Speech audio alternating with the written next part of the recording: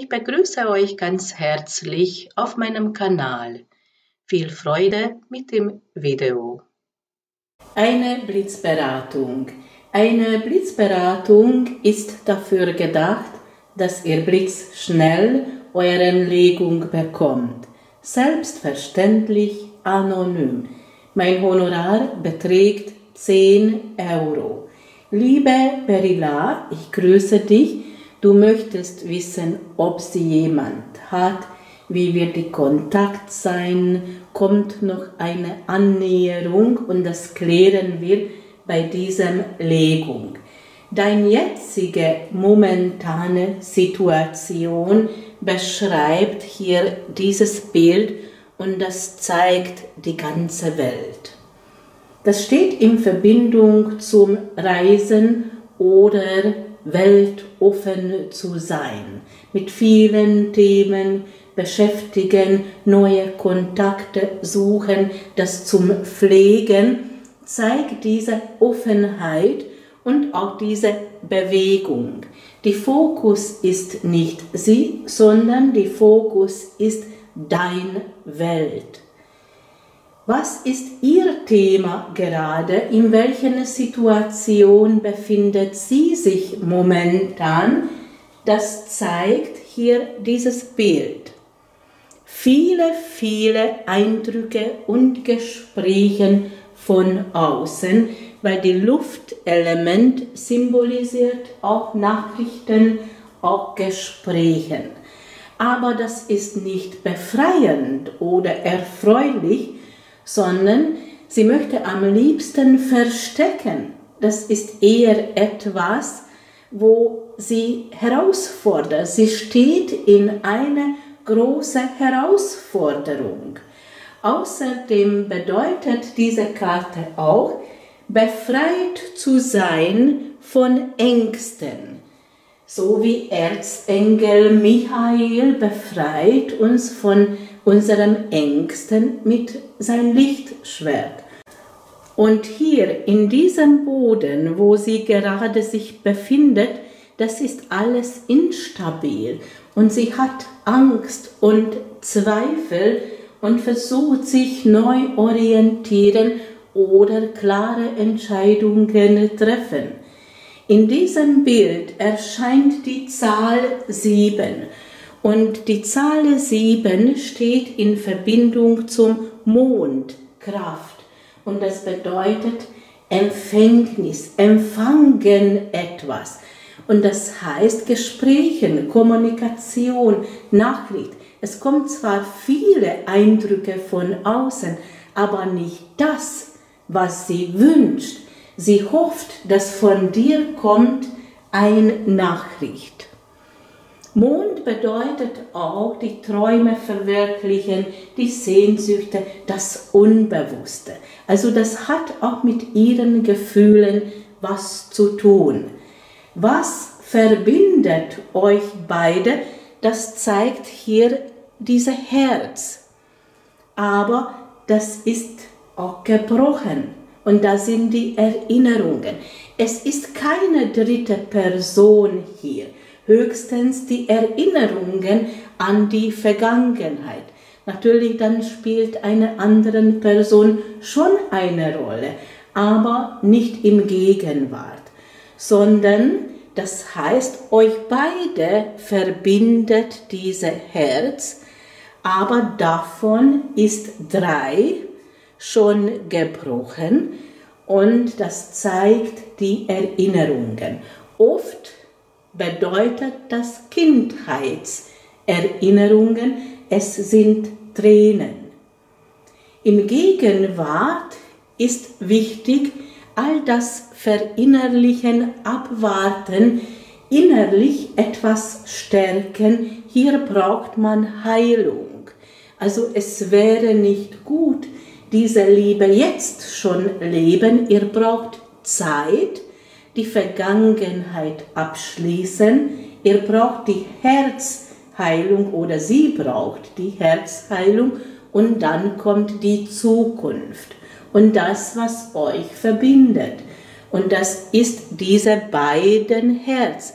Die eine Herz ist deins, die andere Herz ist ihr. Also die zwei Herzen, was euch verbindet, was stört, das sind die Erinnerungen und das sind mit Tränen verbunden. Und hier braucht man gerade die Herzheilung. Welche Schritte sollst du tun? Was kommt als nächstes? Das zeigt hier diese drei Karten. Sie ist die Königin über die Herz. Und Herz bedeutet Herzensangelegenheit. Und das heißt euren Liebe, aber auch Eigenliebe. Selbstliebe ist auch sehr wichtig. Also steh zu dir selbst, öffne dein Herz auf Herzensangelegenheiten und es ist nicht nur die Liebe, sondern alles, wo du mit Herz und Seele dabei bist. Hobby oder Berufung oder Kunst, Kreativität oder Reisen oder Sport, Bewegung oder Familie oder Natur, wie auch immer. Natürlich kommt noch Liebe, Partnerschaft auch dazu, aber stärke dein Herz. Die zweite Karte bedeutet, beherrsche die Luftelement und das heißt Ängste loslassen, die Unsicherheit überwinden, mehr zum Leichtigkeit kommen, etwas spielerisch betrachten. Die Schmetterlinge symbolisieren die Transformation, diese Erneuerungsprozesse, dass du zu diesem Leichtigkeit auch kommst und lebst die Kreativität und die Spiritualität, weil da bist du mit Herz dabei. Außerdem die Luftelement vermittelt auch Worten, also handelt sich auch um Kommunikation und diese Eremit hat auch eine Bedeutung. Sprich möglichst wenig über diesem Herzensangelegenheit. Die Eremit bedeutet bezüglich auf die Worte, die Worte verschlucken oder schweigen. Worüber sollst du schweigen? Über dein Herzensangelegenheit, über diese Liebe, das soll von ihr kommen. Dann hast du die Bestätigung, aber aber zeige das mit einer Berührung, aber nicht mit Worten. Die Eremit bedeutet eine spirituelle Richtung und das, was dich gerade befreit, aber vertraue an diesem Liebe auch, dass sie entgegenkommt und dass euch beide diese Herz verbindet. Möglich ist auch, und das sagt mein Gefühl, das wäre wichtig, wenn du zurückziehst, meditierst über diese Herzheilung und gibst ihm energetisch die Kraft, dass bei ihr diese Herzheilung stattfindet.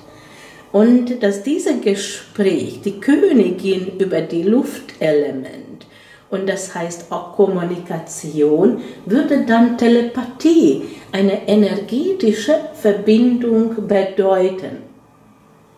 Jetzt schauen wir ihre Schritte an.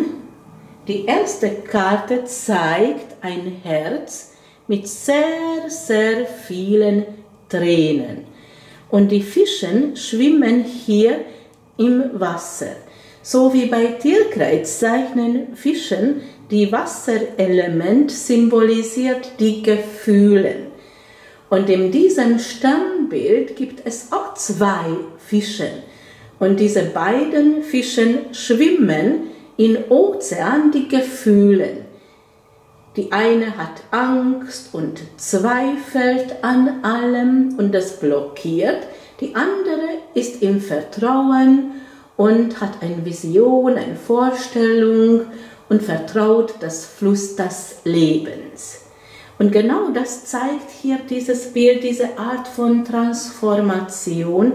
Diese schwarzen Herzen zeigen die Leid, die Trauer und Tränen, auch Verlustangst, weil dadurch entsteht auch Ängste. Und das ist hier die eine Richtung und das blockiert. Und die andere Richtung steigt alles nach oben, kommt mehr zum Vertrauen und vertraut das Fluss des Lebens und das, was sie braucht. Und sie befindet sich gerade in diesem Transformation. Sie braucht dazu Zeit, weil die Münzen zeigen das Geduld. Münzen stehen in Verbindung zum Erde-Element. Und Erde-Element zeigt zwar die Taten, die Realität, aber auch Geduld. Sie braucht noch Zeit für diese Heilung. Dann kommt aber das im Taten, weil die Erde-Element möchte die Realität leben. Sie beobachtet oder ich würde sogar sagen, du sollst diese Haltung einnehmen, beobachte diese Geschehen, bis dieser Baum wächst und dehnt und Früchte trägt und du gibst die Halt, die Sicherheit und die Stabilität auch für sie. Was kommt als nächstes? Das zeigt die Verbindung, die Verbindung zwischen euch beide, wieder die Luftelement und das heißt Leitigkeit und auch Kommunikation. Und ihr werdet etwas klären, ihr werdet miteinander reden und diese Verbindung, dieser Kontakt kommt. Ich befrage mein Pendel, hat sie jemand? Ja, nein oder vielleicht. Dieser vielleicht würde bedeuten, das ist nicht ganzes, nicht halbes oder kann auch ein Hinweis sein, wir sollen diese Frage momentan nicht stellen. Geht sie fremd? Hat sie jemand? Ja, nein oder vielleicht? Die Antwort ist nein, sie hat niemand. Sie hat nur Schmerz und Tränen. Liebe Berila, so könnte ich deine Frage beantworten. Ich bedanke mich für deine Treue. Ich bedanke mich für dein Anvertrauen, auch für diesen Auftrag. Ich wünsche dir alles Gute und alles Liebe. Und das war diese Aufnahme. Wenn es euch gefallen hat, ich freue mich, wenn ihr mich abonniert. Bis zum nächsten Mal, eure Dendera Susanna Medici.